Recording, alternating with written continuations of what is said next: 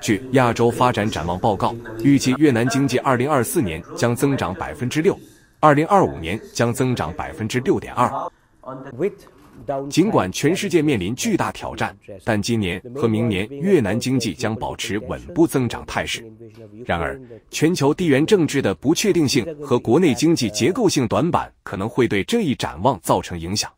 因此，二零二四年的政策措施需要将扩大内需的短期增长支持措施与促进可持续增长的长期结构改善方案结合起来。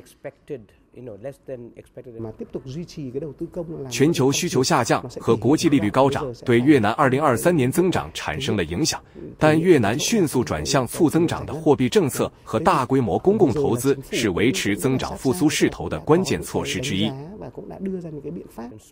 公共投资仍然是越南经济增长的动力。有效开展公共投资对促进增长具有重要意义。